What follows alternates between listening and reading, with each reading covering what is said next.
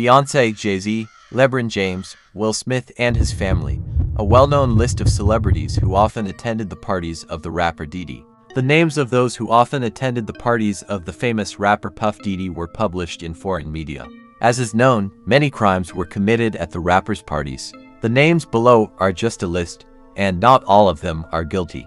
These people often attended Diddy's parties and many of them probably knew what was going on at these parties. LeBron James, Will Smith and his son, Jennifer Lopez, Rihanna, Kim Kardashian, Leonardo DiCaprio, Mariah Carey, Justin Bieber, David and Victoria Beckham, Serena Williams, Jamie Foxx, Kevin Hart, Kris Jenner and others. They often attended Diddy's parties. Judging by these names, the media write that perhaps the family of LeBron James and Will Smith knew all about the dark side of these parties.